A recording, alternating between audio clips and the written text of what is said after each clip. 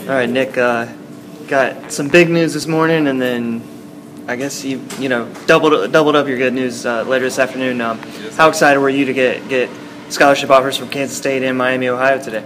Too excited. I know I've been working real hard these past couple weeks. They've been talking to me, but I really didn't know I was like that that close to an offer. And I had a lot of people helping me out with Coach Aaron, Coach Beckler, Jabril, Jabril Ford with um Carolina Exposure. He was helping me out. And a lot more people was me out.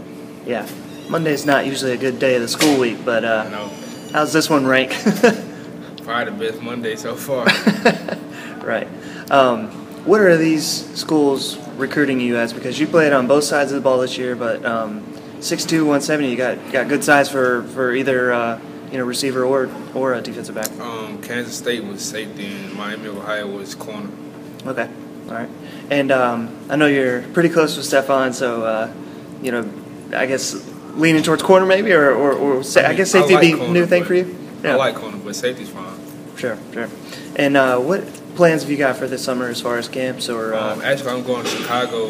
I'm leaving Thursday, and I'm hitting like Tennessee, Louisville, Kentucky, and Miami of Ohio. I think all that while I'm up there, and then on the way back some too. Okay. So then I got a lot more camps planned this summer. I don't know which camps though. Okay. So Chicago's going to be a camp, or you're just on It's the way? It's a camp, but I'm going to oh Northwestern too.